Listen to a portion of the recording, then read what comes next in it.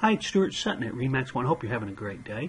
BerryCreekThisWeek.com is where you can find updates every single week on Berry Creek real estate. Three homes were placed in the market last week. One in the garden home section on Ledgemont, one of the smaller floor plans, but a lovely home with a beautiful backyard.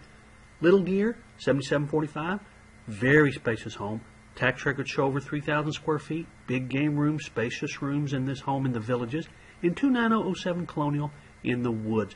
Beautiful, very tasteful one-story home for 300,000. Homes that were placed under contract. Two of those were mine, as you can see, 111 Verena Way, beautiful one-story home in the reserve, only a couple of years old, and 30613 Berry Creek Drive, backs to the creek, Berry Creek, and the golf course. So a beautiful array of new listings hit the market, and we had six homes actually go under contract. Now you can see, look at the asterisk, two of those homes that went under contract were on the golf course.